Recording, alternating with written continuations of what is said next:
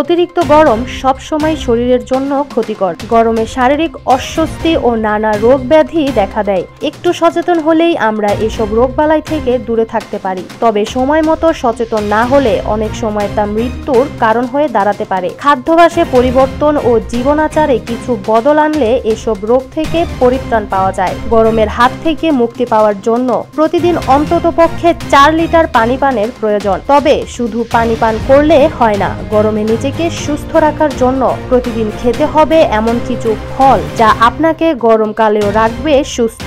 Apple, কলা, বেরি, কমলা লেবু, avocado, আঙুর, কিউ, চেরি, ডালিম এবং তরমুজ এই দশটি ফলে আপনাকে প্রচণ্ড গরমের হাত থেকে রক্ষা করবে। মুক্তা ইসলাম, সিএনএন বাংলা।